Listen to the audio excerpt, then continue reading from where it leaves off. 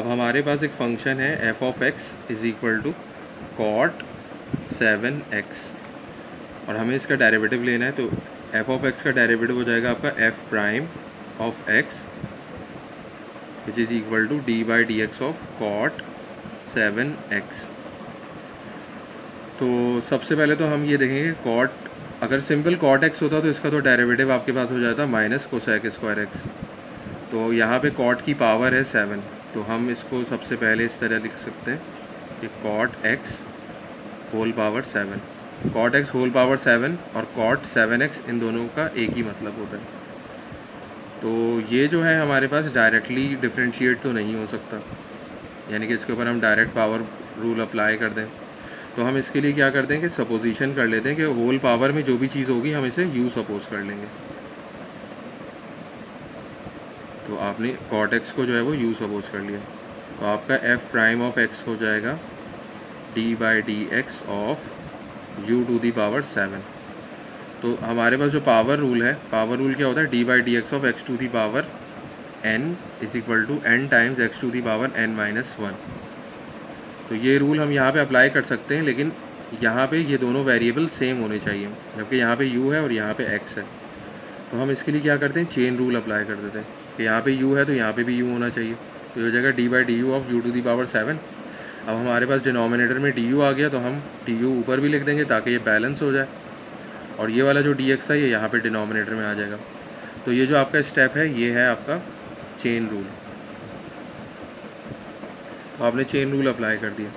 अब यू की power seven है और यहाँ पे यू है। इसका मतलब ये कि हम यहाँ पे ये वाला फार्मूला जो है वो अप्लाई कर सकते हैं पावर रूल वाला। तो पावर रूल वाले फार्मूले में क्या होता है कि जो आपकी पावर होती है, वो कोफिशेंट बन जाती है और पावर जो होती है, उसमें से वन माइनस हो जाता है। तो ये जो पावर है, आपकी सेवन ये बन कोफिशेंट बन जाएगा और यू की, यानी कि ये यू का कोफिशेंट बन गया और यू की पावर हो जाएगी आपकी सेवन माइनस वन इसके बाद जो है, आप डी बाई डी एक्स लिखेंगे और इस यू की जगह पे आप लिख देंगे कॉट एक्स इसको फर्दर सिंप्लीफाई करेंगे तो ये हो जाएगा आपका seven u to the power six और कॉट एक्स का डेरिवेटिव होता है माइनस कोसैक स्क्वायर एक्स इसको फर्दर सिंप्लीफाई करेंगे तो हो जाएगा minus seven u to the power six cosec square x minus seven अब ये इस यू की जगह हम यू की वैल्यू सब्सटीट्यूट कर देंगे, जो कि आपकी है cot x cot x to the power six cosec square x और माइनस सेवन ये कॉट एक्स की पावर सिक्स है तो हम चाहें तो इस सिक्स को यहाँ पर भी लिख सकते हैं। तो हो जाएगा cot six x cosec square x तो ये जो क्वेश्चन है, ये हम चेन रूल के ज़रिए भी सॉल्व कर सकते हैं।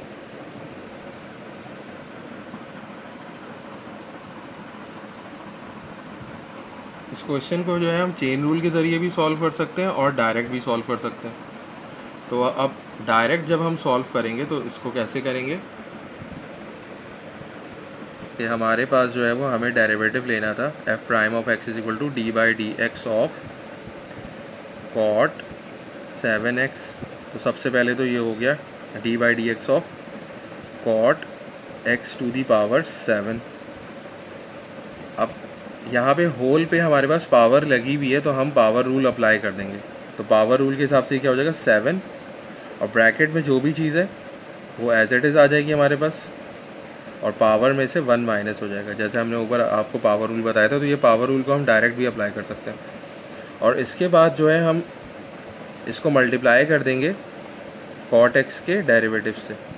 यानी कि जो भी चीज़ आपकी ब्रैकेट के अंदर होगी, पूरी की पूरी, उसके हम डेरिवेटिव से जो है, हम इसको मल्टीप्लाई कर देंगे। इसको सिंप्लीफाई करेंगे तो ये हो जाएगा आपका seven cot x to the power six और कॉट एक्स का डेरिवेटिव होता है, माइनस कोसेक स्क्वायर एक्स। तो ये सेवन माइनस से मल्टीप्लाई होगा तो ये हो जाएगा आपका माइनस सेवन।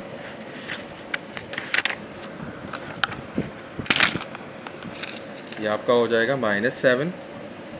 और कॉट एक्स की पावर सिक्स है, ये सिंप्लीफाई हो गया हो जाएगा आपका cot six x, cosec square x.